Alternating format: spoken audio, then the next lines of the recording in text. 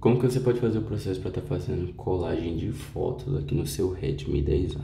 Vamos lá. Primeiramente, você acessa aqui a sua galeria. Após acessar a sua galeria, você vem, clica em alguma foto, vem aqui nesses três tracinhos e procura a opção de colagem. Vamos ver aqui, renomear, Google Lens. Deixa eu estar tá voltando. Deixa eu sair daqui, vir para essa área aqui e clicar. Tá, aparece aqui. Você entra aqui na área de fotos, não clica em nenhuma foto, clica nos três tracinhos e aparece a opção de colagem. Clica na opção de colagem e você vai selecionar duas fotos. Eu vou colocar essas duas fotos aqui, vou clicar aqui, certo? Permitir e pronto. Ó. Tá aí, eu posso estar editando as fotos se eu quiser, ó, tá? Posso fazer o processinho para estar mexendo elas caso eu queira.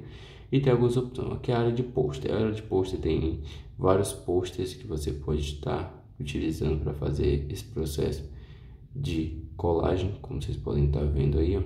tem vários que você pode estar utilizando. Tem a área de low volt aqui também que você pode estar utilizando. Funciona da seguinte forma aqui. Tem uma grande variação de processo de fotos, tá? Também tem como você fazer rolo de filme, que é bem, bem interessante também, questão de rolo de filme, tá? Tem esse processo também.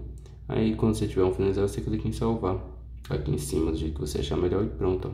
Dessa forma você faz uma colagem aqui no seu Redmi 10A, tá? Deixando esse vídeo por aqui, não esquece de deixar aquele like, poder vídeo aqui do canal. Até o próximo vídeo, pessoal. Valeu e fui!